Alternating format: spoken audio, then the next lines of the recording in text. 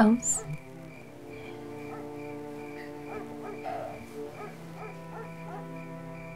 أنا مبسوطة لأني معك. حبيبتي ريم كمل. ريم نحن اتفقنا إنه هذا الزواج لحماية مستقبلك. يعني أنا ما رح أقدر أكون غير راعي الك مو أكثر من هيك. المهم إني عايشة معك ببيت واحد. أنا ما رح أكون دائما هون. هذا الشيء أفضل إلي ولك. بس أكيد رح مر كل يوم اطمن عليك وشوف شو ناقصك. بدك تتركني أعيش لحالي؟ هون المنطقة أمان. ما في شيء بخوف. إيه بس إذا عمي عرف إنك عايش لحالك رح يتضايق كتير. عمك ما رح يعرف غير إذا انت قلتي له. يلا أنا لازم أمشي هلا. تركك تنامي وترتاحي. طب اقعد شوي. تحب أعمل لك عشاء؟ لا ماني جوعان هذا مفتاح البيت. عشان تقفلي الباب وتطمني. طب خليك أول ليلة هون. أنا بخاف أبقى لحالي مو متعودة. أنا بنام هون وأنت نام على التخت. بعدين بكرة الصبح جايين بيت عمي مو حلوة ما يلاقوك. طيب بس بشرط. أنا بنام هون وانت بتنامي بالغرفة شو. طيب. تصبح على خير. أنت من اهله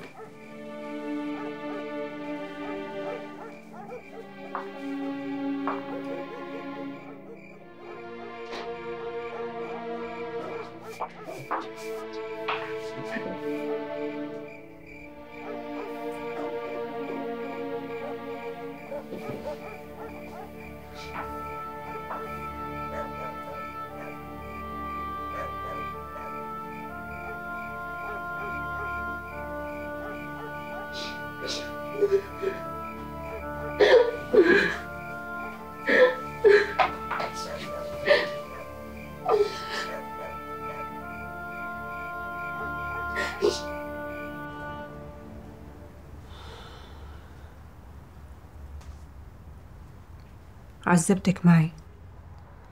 لما فتت على البيت وشفتك غايبة عن الوعي جنيت. الحمد لله اللي مرقت على خير. نورما اللي عم يصير مو صح. لازم ننهي هاللعبة بكفي بقى. انت وعدتيني تنفذي كل طلباتي. بعدين هذا شغل صحيح. وأنا رح ضل عند وعدي. بس أنا ما بدي أكون سبب بوجع راسك معناها فشلتي. وما عم تقدري تسيطري عليه. هيك رأيك؟ ماشي فشلت.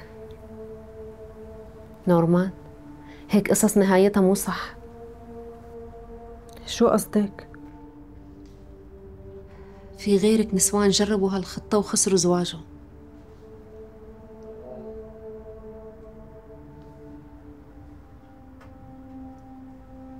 كيف خسروهم؟ يعني ممكن تصير قصة حب عن جد. لا وفوق كل هاد الرجال بيتجوز على عيون مرته. هاد قلب. وهي اللعبة مو دائما بتنجحي فيها. فهمتي علي؟ إيه فهمت فهمت.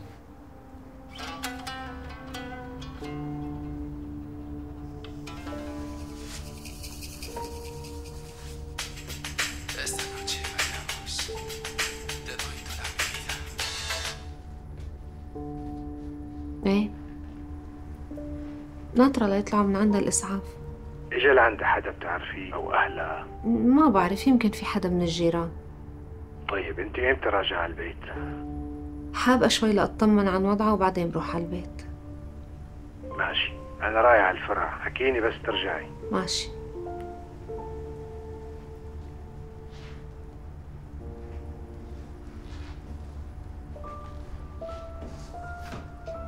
نورما خلصيني من هاللعبة بقى. هاد جوزك عم يتسلى وما بده يكتب كتاب شيخ؟ فهميها بقى. انت ما كان لازم تدخليني بهي القصة من الأساس. أنا ما بقى فيني شوفك عم تتعذبي هيك. يعني بالأخير رح تجيبي لي ورقة كتب الكتاب ولا لا؟ بدي ورقة دينه فيها. عم تفهمي؟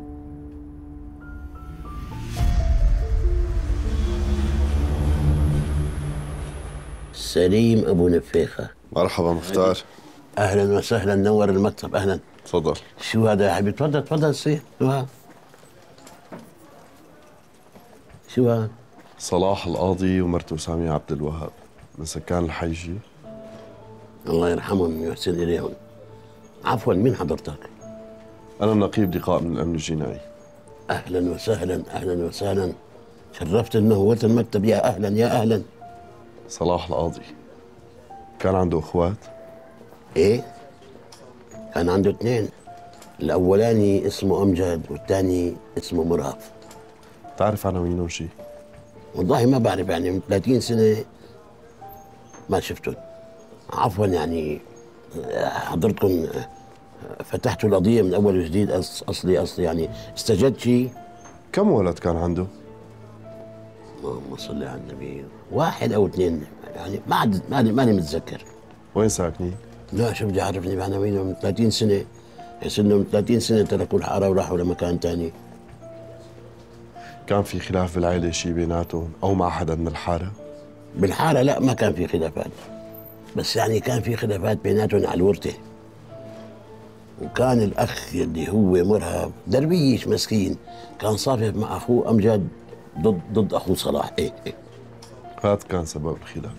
إيه لأنه أمجد كان يشتغل بالتهريب وطلب من أخوه مصاري ما أعطاه وكمان ما رضي يبيع الأراضي اللي بالزبداني. قام علقوا مع بعض وتقاتلوا. إيه نعم. وهو راجع من المزرعة عمل حادث ومات هو ومرته وابنه. كان راجع من الزبداني مو من بيروت. الحادث كان على طريق بيروت هن راجعين من المزرعة اللي بالزبداني.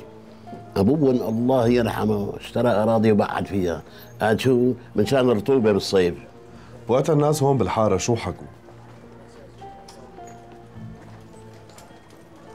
أحكي شباك القصة صار لها 30 سنة.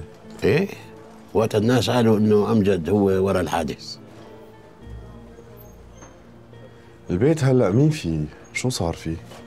البيت أبي اشتراه بعد الحادث بفترة. وهلأ ما في حدا ساكنه. يعني الجماعة ما تركوا ولا أثر يا سيدي في بالأبو غزانة وفيها شوية كراكيب مكركبه على أساس يرجعوا ياخذون لحد الآن ما حدا لا أخذهم لا كركبون. فيني أطلع عليهم؟ يا بكل ممنونية. هلا. على راسي تفضل. شرف الملف. سلم الإيدين. تفضل.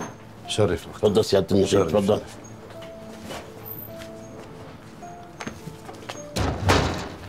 أبو مفيد الله يرحم أبوك دير بالك على المحل. شرف. شرف شرف